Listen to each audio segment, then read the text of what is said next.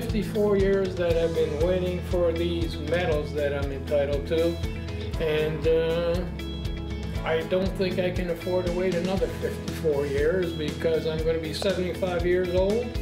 I've always heard that Senator Donnelly is a friend to service personnel, uh, retired personnel, and active personnel, and I decided to contact him. Early on a Monday morning, 7:30, I called his office and spoke to a very knowledgeable young lady, and uh, she took information from me, times and dates. I told her what I needed, and she said she will contact people in the uh, office who handle that particular military things. Uh, I thought, well, you know, maybe it'll be another 54 years. No way. Lo and behold, two hours later, I get a call from the senator's office.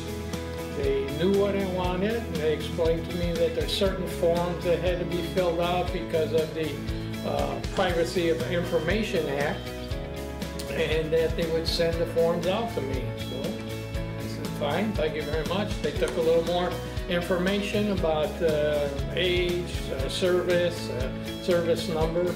Uh, a week later, I got all the uh, forms that they had said that they would send. I, I filled them out, it wasn't too complicated. Uh, but before I could even mail them, I got another call from the senator's office asking if I got the forms. Yes, I got the forms, I mailed them in.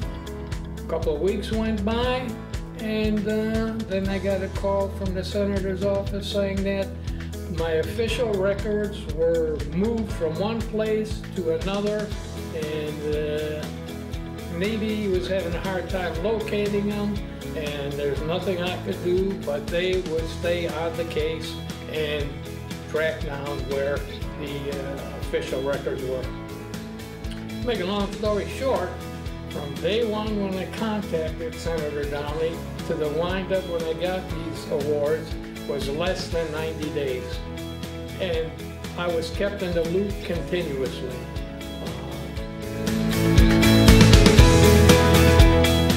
I would recommend if you're a service person and you're having a problem, please contact Senator Joe Donnelly because he'll go to bat for you. He's in your corner, he won't leave you hanging.